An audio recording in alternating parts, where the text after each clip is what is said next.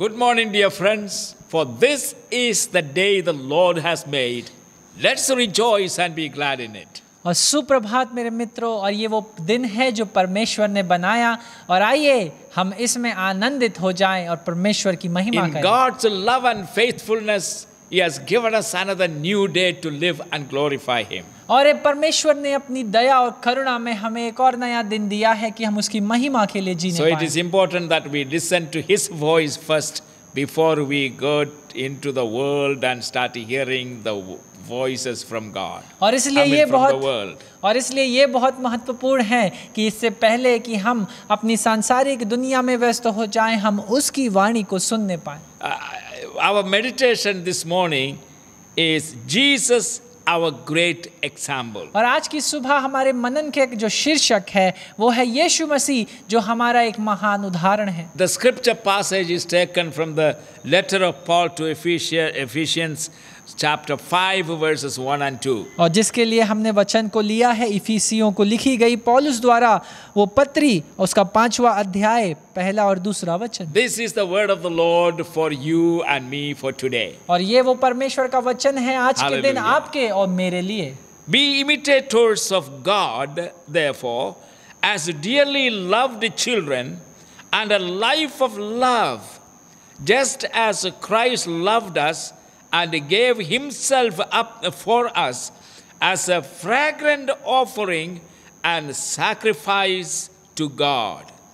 इसलिए प्रिय बालकों के समान परमेश्वर का अनुकरण करो और परमेश्वर में चलो जैसे मसीह ने भी तुम में तुमसे प्रेम किया और हमारे लिए अपने आप को सुखदायक सुगंध के लिए परमेश्वर के आगे भेंट कर कर बलिदान कर दिया। इन दिस पासेज और इस वचन में apostle Paul uses Jesus as an example for believers walk in love पौलुस प्रेरित प्रभु यीशु मसीह के उदाहरण का प्रयोग करता है ये दर्शाने के लिए कि कैसे विश्वासियों को वो उस प्रेम में निरंतर चलते रहना चाहिए Jesus himself has instructed his disciples to love one another. और यीशु मसीह ने खुद अपने चेलों को ये आज्ञा दी है कि वो एक दूसरे से प्रेम बना करके रखें And the example is himself. और वो कहता है इसका उदाहरण मैं खुद हूँ Love one another as the Lord loved us. और एक दूसरे से प्रेम रखो जैसे परमेश्वर ने हमसे प्रेम रखा In uh, the Gospel according to St. John chapter 13 verse 34 Yahuna says, रचित सुसमाचार उसका तेरवा अध्याय चौंतीसवें वचन में हम देखते हैं A new command I give you. एक नई आज्ञा मैं तुम्हें देता हूँ Love one another. एक दूसरे से प्रेम रखो As I have loved you, you must love one another. जैसे मैंने तुमसे प्रेम रखा तुम्हें भी एक दूसरे से प्रेम रखना है Then First John chapter 3 verse 14 और उसके पश्चात पहला यहुन्ना तीसरा अध्याय चौदवे वचन में लिखा है We know that we have passed from death to life हम जानते हैं कि हम जी मृत्यु से निकलकर उस जीवन की ओर बढ़ चुके हैं because we love our brothers. क्योंकि हम अपने भाइयों से प्रेम रखते हैं Anyone who does not love और- remains in death. अगर कोई ऐसा है जो प्रेम नहीं रखता तो वो मृत्यु में बना रहता है So let us consider a few points here. और आइए यहाँ पर हम कुछ बातों को देखेंगे। नंबर वन पहली बात द सोर्स ऑफ़ लव कि इस प्रेम का स्रोत क्या है? There are two things in this point और इस बात में दो बातें हैं जो मैं आपको बताऊँगा।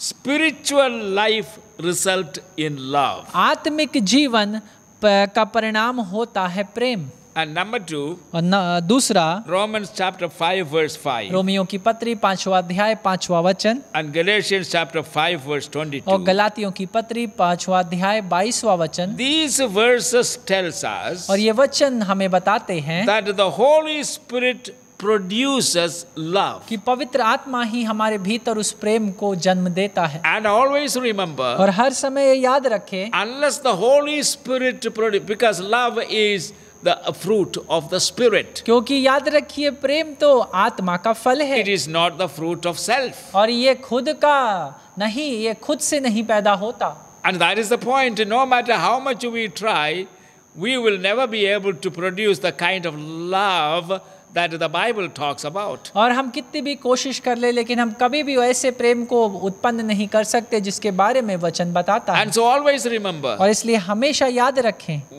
wh- what is the mark of a spiritual life? और एक आत्मिक जीवन का चिन्ह क्या है It is love, वो है प्रेम A genuine love, एक सच्चा प्रेम loving the unlovable. और ऐसे लोगों से प्रेम रखना जिनसे प्रेम करने योग्य ही नहीं And the second point is. और जो दूसरी बात है the objects of love. कि जो प्रेम है वो उसके उस प्रेम को हम किसकी ओर दिखाएँ And uh, the first thing uh, I want to talk to you is this और जो पहली बात है इसमें वो ये है believers are to love God with all their hearts. और विश्वासियों को तो पहले परमेश्वर से प्रेम रखना है अपने पूरे हृदय से Uh, Matthew chapter 22, verses 37 and 38. और मती रचित सुसमाचार बाईसवा अध्याय सैंतीसवा और अड़तीसवा वचन All of us know this verse. और हम इन सब इस वचन को जानते हैं Love the Lord your God with all your heart, with all your soul, and with all your mind, and with all your strength. और इस वचन में लिखा है कि अपने परमेश्वर से तो पूरे शरीर पूरे मन पूरी शक्ति और पूरे आत्मा और प्राण से प्रेम कर And then the, Jesus said, और उसके पश्चात यीशु कहता है This is the first and the greatest commandment. कि ये सबसे पहली और बड़ी आज्ञा है And so when we love God, we will love others. और इसलिए जब हम परमेश्वर से प्रेम रखते हैं तो हम दूसरों से भी प्रेम रखेंगे So, John, the beloved disciples, in his first letter, chapter 4, verse 20, he says, और यहुन्ना अपनी पहली पत्री में यानी पहला यहुन्ना चौथा अध्याय बीसवें वचन में कहता If है anyone says, I love God, कि अगर कोई ऐसा कहे कि मैं परमेश्वर से प्रेम रखता हूँ yet hates his brother, लेकिन उसके पश्चात वो अपने भाई से घृणा करता है he is a liar. तब वो व्यक्ति झूठा है And when the Bible says something, it is true. और याद रखिए जब पवित्र शास्त्र कुछ कहता है तो वो सत्य है For anyone who does not love his brother, क्योंकि यदि कोई भी ऐसा है जो अपने भाई से प्रेम नहीं a रखता brother whom he has not seen, और एक ऐसा भाई जिसे उसने देखा ही नहीं and yet say, I love और God, फिर भी कहे कि मैं परमेश्वर से प्रेम रखता हूँ is a liar. एक झूठा है And when they love God, they will love others. और जब वो परमेश्वर से प्रेम हम रखते हैं तो हम दूसरे से भी प्रेम रखेंगे And so the same chapter in First John chapter 4 verse 21 says, पहला यहुन्ना चौथा अध्याय किसवें वचन में वो कहता है And he has given us this command. और उसने हमें ये आज्ञा दी है Whoever loves God must also love his brother. कि जो कोई परमेश्वर से प्रेम रखता है वो अपने भाई से भी प्रेम रखे And the second thing about this point is और जो दूसरी बात है इस बात के बारे में not only believers are to love और God ना केवल विश्वासियों को परमेश्वर से प्रेम रखना है and his own brother in the Lord, और ना केवल अपने भाइयों से जो परमेश्वर में उसे भाई मिले हैं उनसे but प्रेम रखना believers है also are to exhorted to love all the people. लेकिन विश्वासियों को तो परमेश्वर ने ये आज्ञा दी है कि वो सब लोगों से प्रेम रखें There are three uh, categories of people और तीन समूह के लोग हैं family members. और परिवार के लोग We are to love them. हमें उनसे प्रेम रखना Ephesians chapter 5, verse 25. इफिसियों की पत्री पांचवा अध्याय पच्चीसवा वचन Then Titus chapter 2, verse 4. तीतुस उसका दूसरा अध्याय चौथा वचन And then fellow believers. और हमारे जो विश्वासी हैं साथ में Matthew chapter 5, verse 44. और उसके लिए हमें पहला पत्रस पहला पत्रस दूसरा अध्याय सत्रवा वचन को हमें बताना है Oh, yeah, yeah, that's right. I'm sorry. First Peter chapter 2, verse 17. और पहला पत्रस दूसरा अध्याय सत्रहवें वचन में हम इस बारे में पढ़ते हैं And then the Bible says, thirdly, और तीसरे बार वचन इस बात को कहता है anyone who loves God must also love his कि enemies. कोई भी जन जो परमेश्वर से प्रेम रखता है वो अपने शत्रुओं से भी प्रेम रखे Matthew chapter 5, verse 44. मती उसका पाँच उसका चौवालीस Romans chapter 12, verse रोमियो की 14. पत्री बारवा अध्याय चौदवा And also verse 20. और उसके पश्चात बीसवा वचन Uh, read these passages. और इन वचनों को पढ़ें one point is made very clear एक बात को बड़े स्पष्ट रीति से वो that we have to love all the people ताकि हमें हर एक जन से प्रेम रखना है our family members, हमारे परिवार के लोग our fellow believers, हमारे सह सहकर्मी और and, विश्वासी and even our enemies. और यहाँ तक कि हमारे शत्रुओं से भी Are we following this instruction? क्या हम इन आज्ञाओं का पालन कर रहे हैं And the fourth thing I want to say is जो चौथी बात है जो मैं बोलना चाहता हूँ ब्लेसिंग ऑफ़ लव और वो प्रेम की आशीष।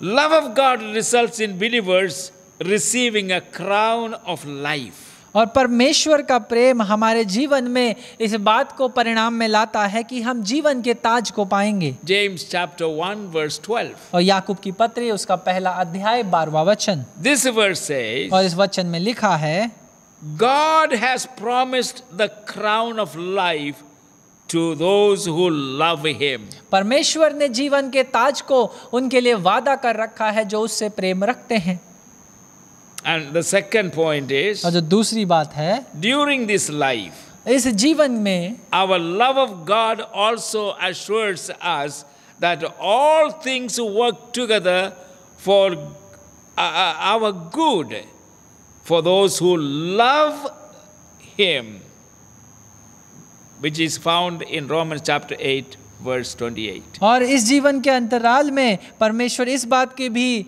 बात को सुनिश्चित करता है कि हर एक वो बात अच्छी रीति से काम करेगी उन लोगों के लिए जो परमेश्वर से प्रेम रखते हैं। What it says. तो देखिए वहाँ पर क्या लिखा or let us notice what it doesn't say. और या ये या तो दूसरे हाथ पर हम देखें जो वहाँ पर नहीं लिखा It doesn't say, is, it doesn't say all things work together for those who believe in him. और ऐसा नहीं लिखा है कि सारी बातें अपने आप कार्य करेंगी उनके लिए जो उस पर विश्वास रखते हैं That's not what it says. वहाँ पर ऐसा नहीं लिखा And all works together for the good of those who have faith. और ऐसा भी नहीं लिखा है कि वह जो सारी बातें अच्छे के लिए कार्य करेंगी उनके लिए जिनके पास विश्वास है But the word of the Lord says in this verse, लेकिन परमेश्वर का वचन इस वचन में बताता है all things will work together for the good of those who love God. वह सारी बातें उन लोगों की भलाई के लिए काम करेंगी उन लोगों के लिए जो परमेश्वर से प्रेम रखते हैं Romans chapter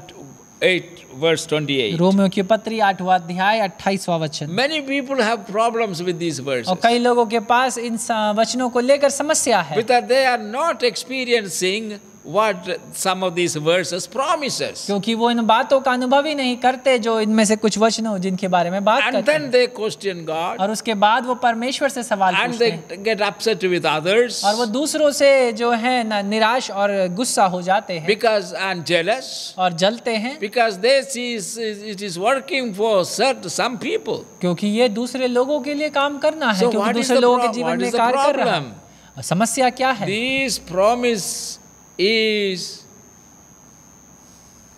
uh, uh, tied to a command क्योंकि इस वादे को परमेश्वर ने एक आज्ञा के संग बांधा है that is a problem और यही समस्या है are you noticing the command क्या आप आज्ञा को देख रहे हैं Are you obeying the command? क्या आप आज्ञा को मान रहे हैं Are you a lover of God? क्या आप परमेश्वर से प्रेम रखने वाले हैं Yes, you are a believer of God. आप परमेश्वर के विश्वासी हैं And you may call yourself even as a disciple of और आप परमेश्वर को के चेला भी खुद को कहकर But are you a lover of God? लेकिन क्या आप परमेश्वर के से प्रेम रखने वाले That's what it makes difference. और वही बात एक अंतर को लाती है You try that life. और इस जीवन को भी आप कोशिश करें You जीने की। genuinely, sincerely begin to love God. And that love can be given to you only by the Holy Spirit. Only He can produce that love within you. और सिर्फ़ वो पवित्र आत्मा ही है जो आपके भीतर ऐसे प्रेम को उत्पन्न कर सकता है। No matter how much you try और ये मायने रखता आप कितनी कोशिश करें यू विल नॉट आप नहीं कर पाएँगे।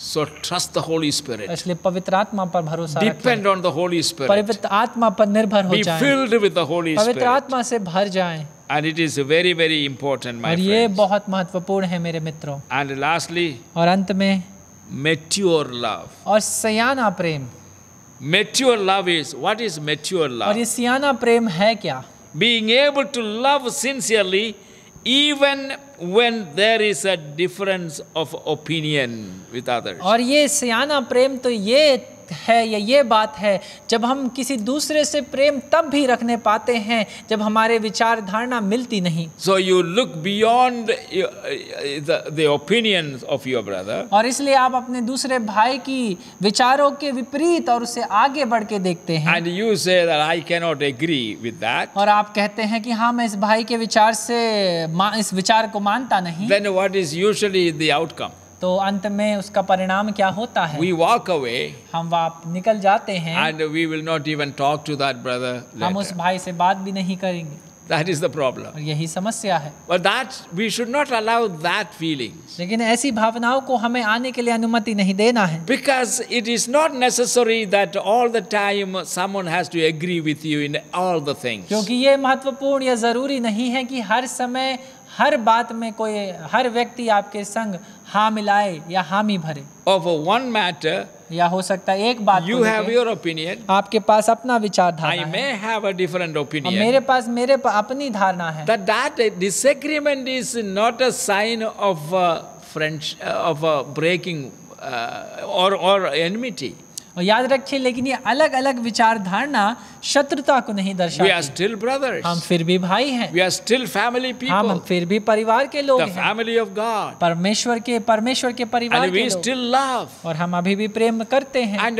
yes, we agree. You agree that is all right. हाँ, Uh, हम- I have the freedom. You have the freedom uh, to keep your own opinion. आपके पास आज़ादी है मेरे पास आज़ादी है कि आप अपने विचार अपने पास रखें और मैं अपने विचार अपने पास रखें And uh, I may have my reason for disagreement. You may have your reason for carrying uh, your idea. और हो सकता है आपके पास अपने कारण हो कि आप क्यों उस बात पर विश्वास करते हो मेरे पास अपने कारण है कि मैं क्यों उस पर विश्वास नहीं करता And so we must look beyond our disagreement and look at the relationship and say, I love you anyway. और इसलिए हमें अपने उन अंतरों से आगे बढ़ करके देखना है और कहना है कि मैं अपने शत्रु से भी प्रेम करता हूँ This is the example of Jesus. और ये है प्रभु यीशु मसीह का उदाहरण See, you cannot pray effectively unless you love that person for whom you are praying. आप उस व्यक्ति के लिए तब तक अच्छे रूप से प्रार्थना नहीं कर सकते जब तक आप सच में उस व्यक्ति से प्रेम ना रखें That is true.